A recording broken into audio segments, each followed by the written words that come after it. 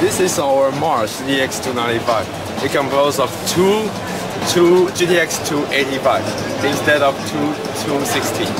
And because our clock is higher, our memory size is larger, and our memory bandwidth is one gigabit. That makes us this super high resolution for your game with all effects on. And when we try Vantage Extreme, the performance it's 23% higher than generic GTX 295. It's amazing. And we also made a new world record as 25,000 in Vantage Extreme preset. Yeah. And because this is a super monster car, we make it a collector's edition. We will only produce 1,000 pieces. And every single one of them will have a unique serial number.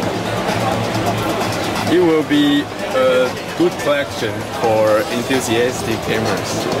And with this, you can enjoy your game very exciting.